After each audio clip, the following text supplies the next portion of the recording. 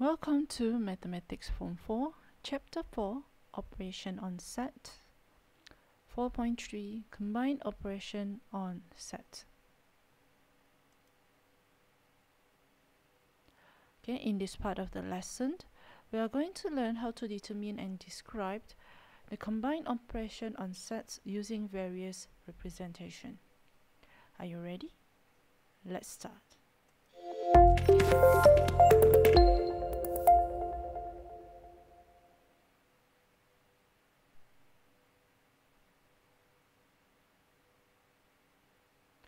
Okay, before we carry on, let's recall what we have learned so far in this lesson. We know that there is intersection of set and union of set. And we also learned about the symbol for intersection of set, which looks like a reverse U.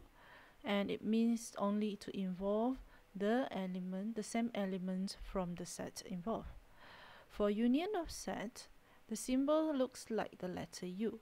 So as I've mentioned it, mentioned previously, the, the one that looks like letter U represents union of set.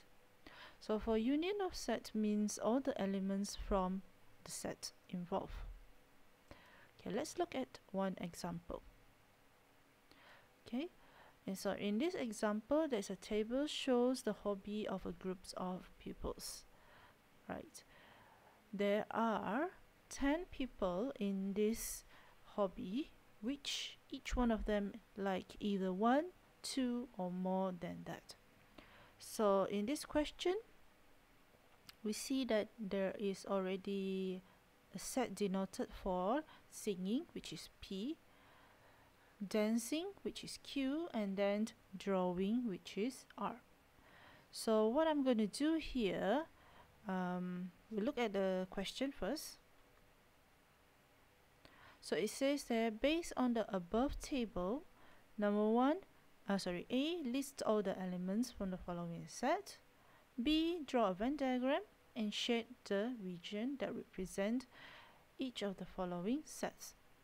So before we can go and answer this question we need to organize what the information show in the table so because the question already denote that set P is for singing, set Q is for dancing, and set R is for drawing, I'm going to label them first. Right.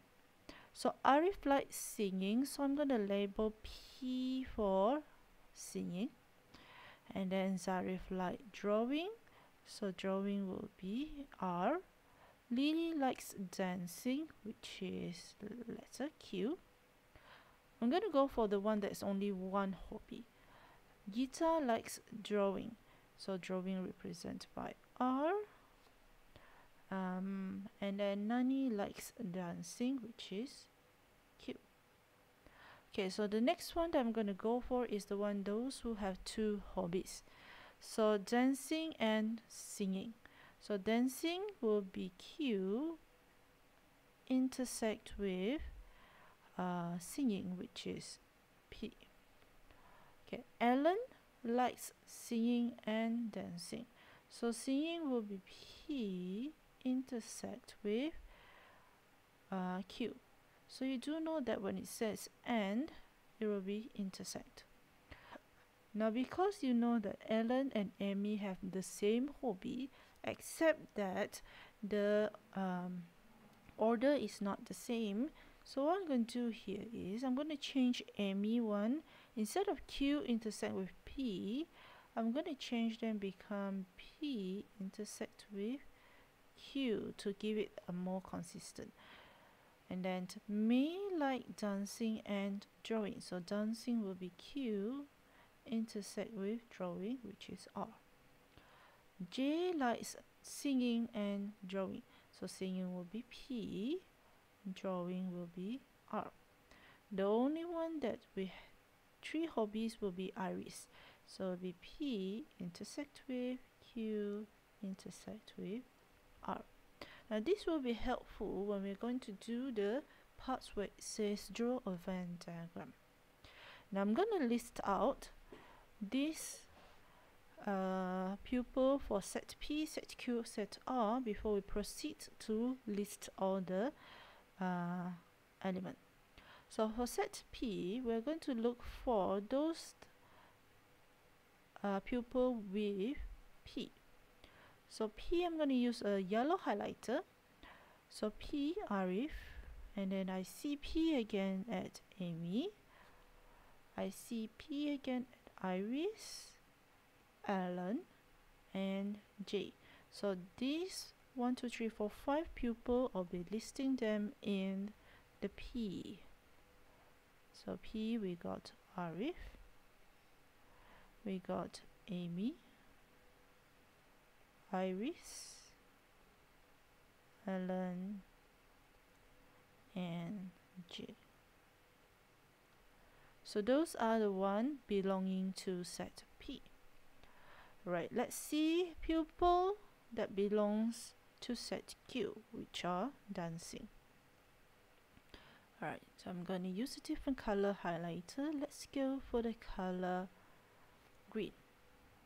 So for Q, I'm going to look for anything that's with the letter Q. So it'll be Lily, Amy again, and then Iris again, Alan, May, as well as Nani. So we got one, two, three, four, five, six of them. I'm going to list them out I'm going to use a different color so we'll start with Lily Amy Iris Ellen May and then last ones will be Nani now we are going to list the one that is last which is set R those who like drawing. Let's use a different highlighter. Let's go for orange. So those with R, Zarif, Gita, Iris, May, and J. So let's list them out and I'm going to use a different color. Let's go for Hmm, green. So those who are in R will be Zarif and then Gita, Iris and May and J. Alright, so these are the uh, students belonging to the respective set. Now let's go and look at the question. Let's start with question E first. Now the list that we did at the front, I'm going to bring them to this question for us to understand the question, sorry, for us to refer to the list while we're answering the question. Right, question A number one. So there are the question A number one would be bracket P union with Q, closing bracket and intersect with. Any type of this type of question, always do the bracket first. This still comply to the BODMAS uh, concept that you have learned earlier in your mathematics life, right? So we're going to answer the ones with the bracket first. So P union with R. So everything in P and everything in Q. So we got Arif, Amy, Iris, Alan, J, Lily, May, and Nani.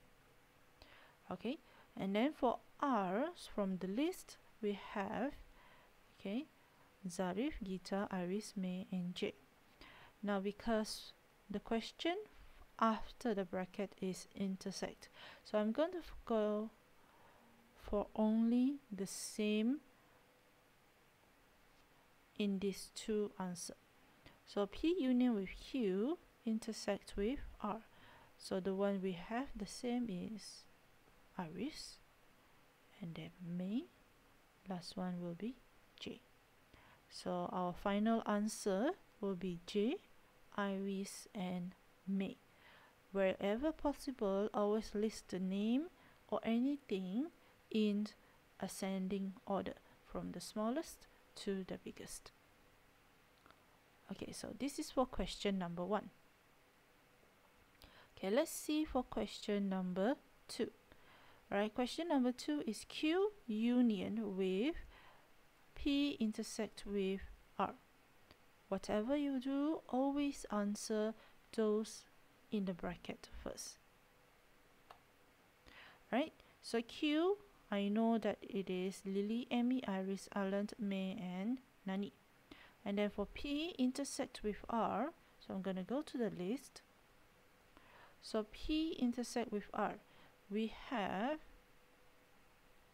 Iris, intersect mean we only take the same, and J. So these two will be our answer for P intersect with R, Iris and J.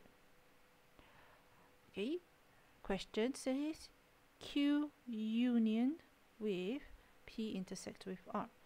So if it's union means everything from Q and everything from P intersect with R.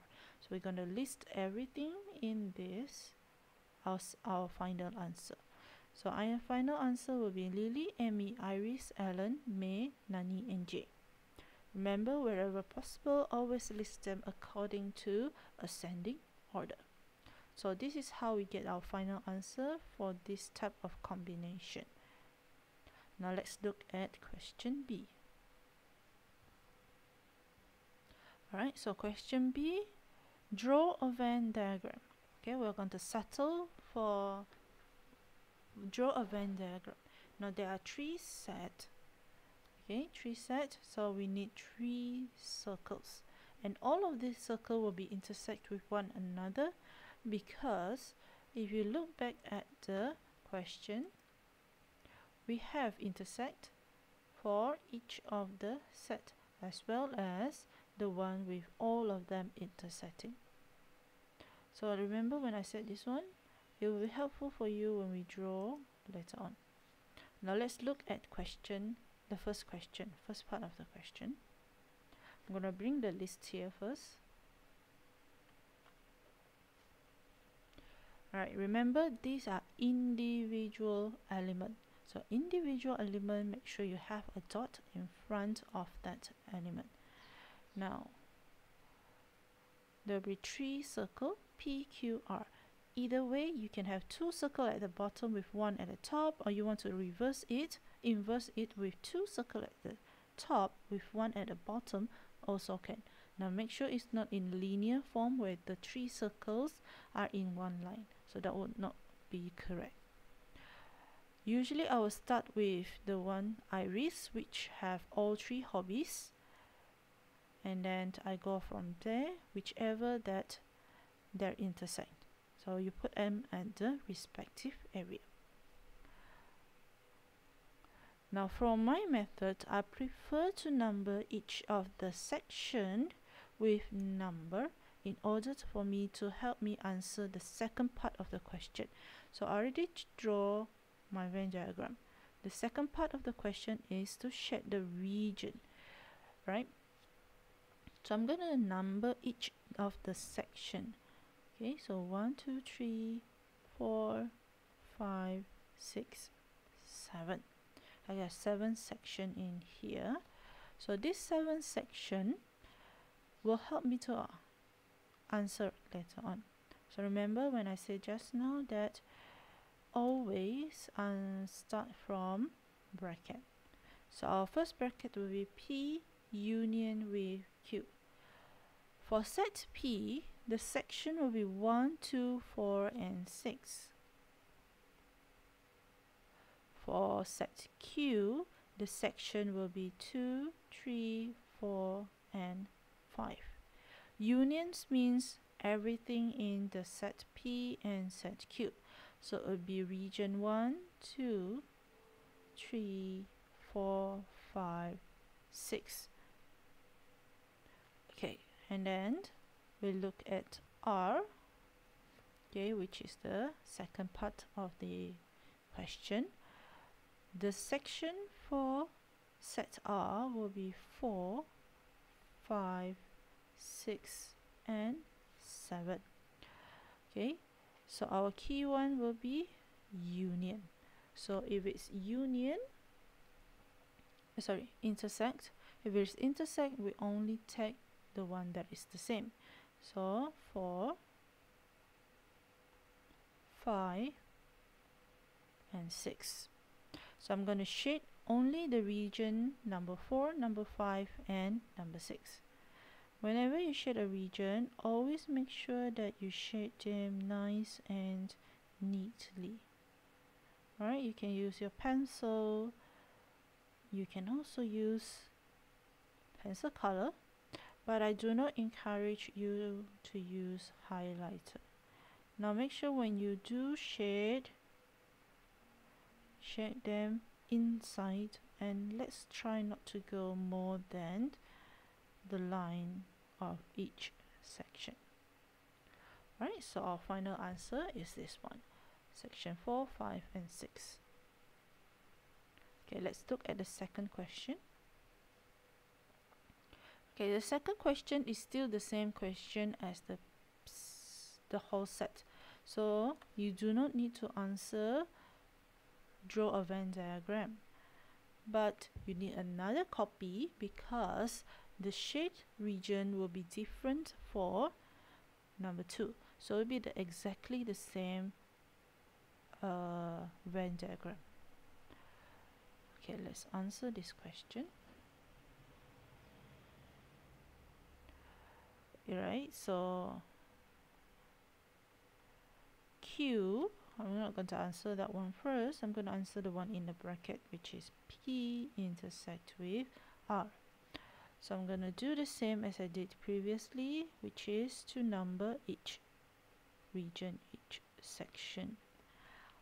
Alright so for P set P okay set P will be number 1 2 4 and 6 for R will be 4 6 let's make it 4 5 6 and 7 intersect means only the same so it will be number 4 and number 6 so answer for this one will be number 4 and number 6 alright for Q set Q involve section 2 3 4 and 5 alright and then the question says union union means everything.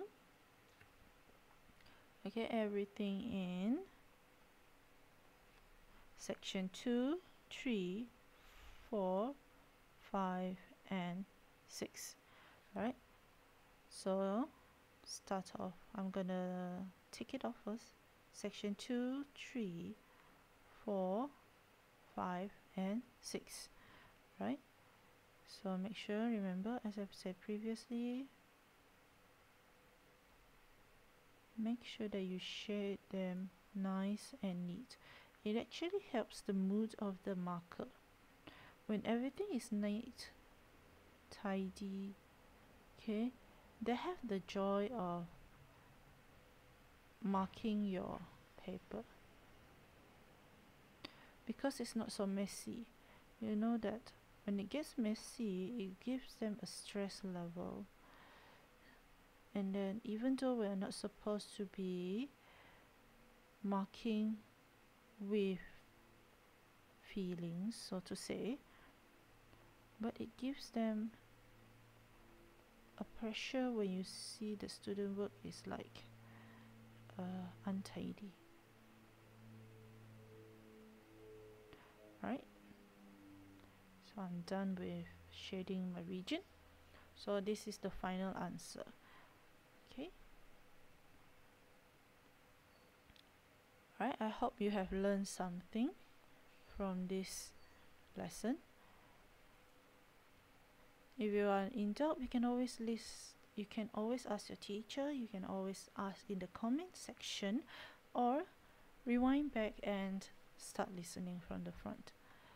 Okay Now, if you do have a SAS workbook 2021, you can try to answer the question in page 59 and 60. Okay, so that's all for my lesson today. I hope you learned something. I'll see you again in the next class. Take care and bye bye.